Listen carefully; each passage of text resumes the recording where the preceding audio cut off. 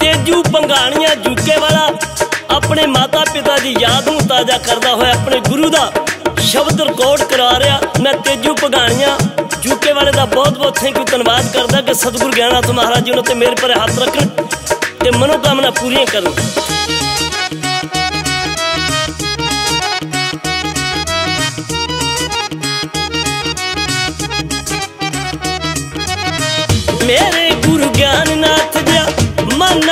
ਮਾਨਾ ਪਿੰਡ ਤੋਂ ਸੀ ਆਏ ਅੰਮ੍ਰਿਤਸਰ ਡੇਰੇ ਲਾਏ।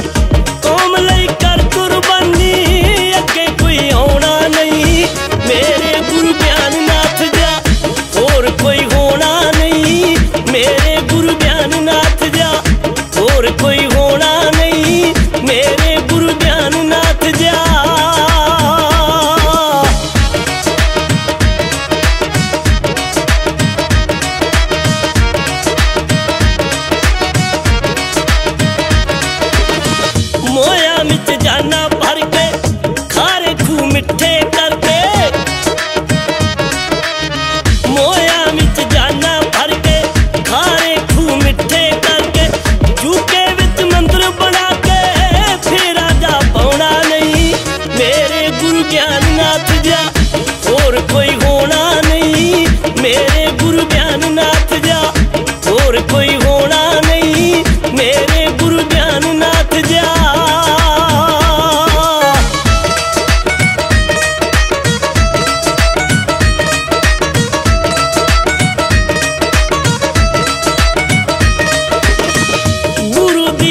ਦੀ ਜੋ ਰਹਿੰਦਾ ਤੇ ਜੂ ਹੈ ਜੂਕੇ ਰਹਿੰਦਾ।